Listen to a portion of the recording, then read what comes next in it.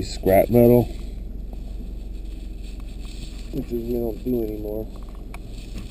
No, and one extension cord. Or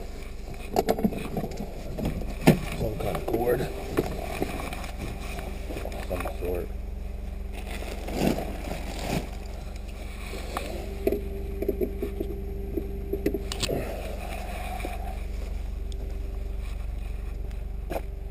The rest, no go. Actually, yes. This is aluminum.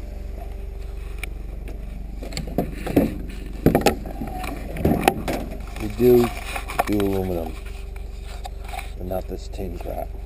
Don't pay.